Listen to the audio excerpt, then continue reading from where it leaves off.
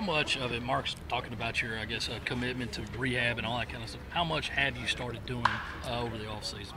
Yeah, we're just getting into a routine for the season. Um, you know, I'm getting with our uh, trainer every day before we uh, get out there and start going, and uh, just going through a little uh, three or four stretches, and he stretches out my shoulder. So we're just getting in a routine.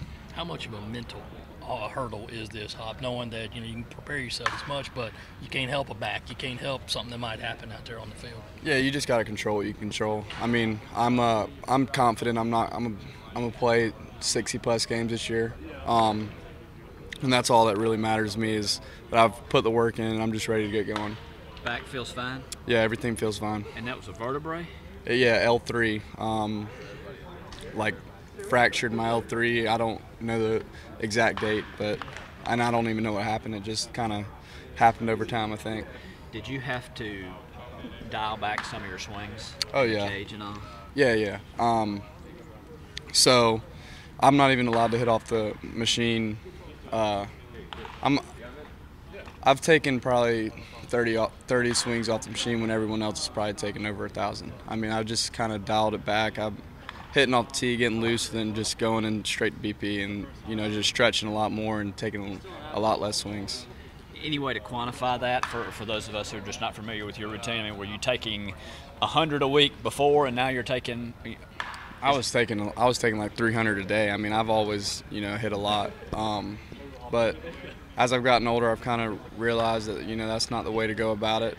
Um, you know, I've just kind of been going with it, and my swing feels better than ever. So I'm just I'm happy that I've realized my my routine and going about it that now that way. So How many swings will you take during the season now outside of games? um, Do you have a number? Do you have a? st- Is there a? Do you have, are you on a pitch count, for lack of a better word?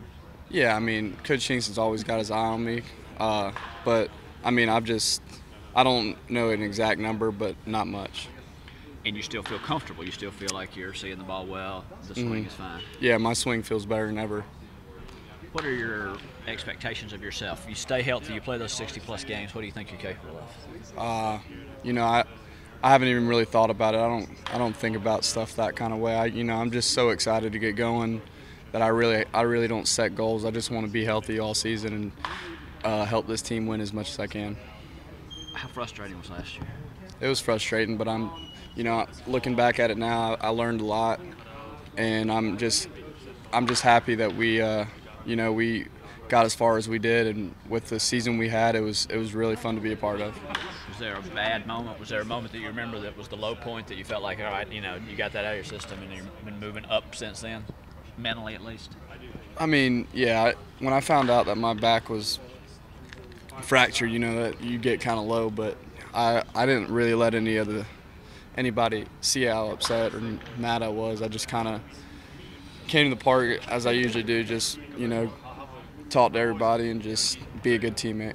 Who diagnosed it? Um, I can't even remember. It was, you know, I don't even. USC even. guys or you Oh yeah, it was. It was somebody in the program. Yeah, it was to USC. The doctor's a part of USC, so